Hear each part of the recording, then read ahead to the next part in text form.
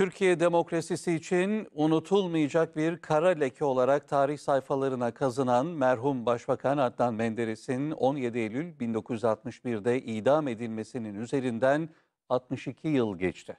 Merhum Başbakan Menderes'in bugün ölüm yıl dönümü şu dakikalarda İstanbul'da mezarı başında anma töreni gerçekleşiyor. CNN Türk muhabiri Ümit Uzun o noktada bizi karşılayacak, ayrıntıları aktaracak. Ümit kolay gelsin, seni dinliyoruz. içindeki işbirlikçileriyle toplum mühendisliğine soyunamadıkları bir Türkiye var artık.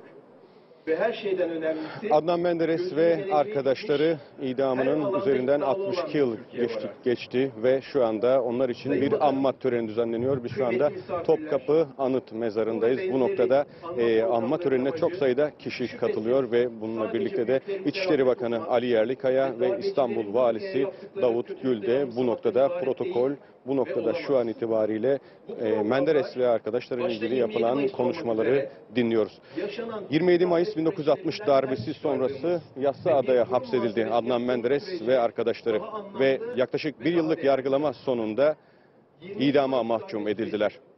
Önce eden yıllar 16 Eylül'de e, ne Fatih Rüştü Zorlu, Dışişleri Bakanı Fatih Rüştü Zorlu ve Maliye Bakanı Hasan Polatkan idam edildi. Başbakan Adnan Menderes ise 17 Eylül'de idam edildi İmralı'da ve üzerinden tam 62 yıl geçti. Mezarları İmralı'daydı. Bu üç önemli ismin ve daha sonrasında yıl 1990'a geldiğinde bir kanun çıkartıldı ve bu kanunla birlikte iade itibar yapıldı ve Başbakan Adnan Menderes ve arkadaşları Hasan Polatkan ve Fatih Rüştü Zorlu'nun mezarları, o naaşları işte buradaki anıt mezara defnedildi. Şu anda da ölümlerinin üzerinden 62 yıl geçti ve 62. yıl dönümü itibariyle bu noktada bir anma töreni düzenleniyor. E, Kur'an tilaveti yapıldı ve akabinde dualar edildi ve şu anda da o Adnan Menderes, Başbakan Adnan Menderes ve arkadaşlarıyla ilgili konuşmalar yapılıyor. Onlar yad ediliyor diyelim ve sözü size bırakalım. Demokrasi